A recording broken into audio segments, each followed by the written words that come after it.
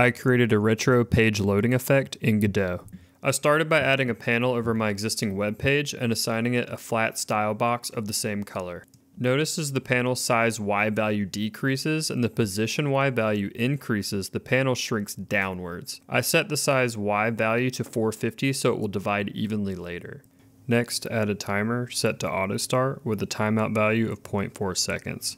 This can be adjusted later to adjust the web page's load time. Create a script and assign it a timeout signal. Add a progress bar and change the background style to an empty style box and the fill style to a flat style box. I assigned the fill style a color that matched the web browser's address bar with a lowered alpha value.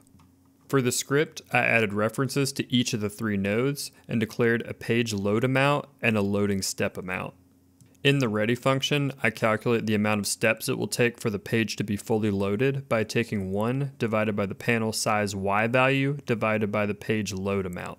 For my example, this will be about 0.11 repeating or 11%.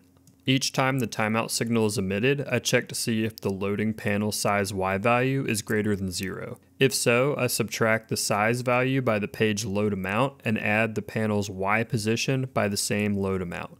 This shrinks that gray panel downwards to give the illusion that the web page is loading. The progress bar's value is increased by the loading step amount, which is that 11% that we calculated on start, and then that timer is reset.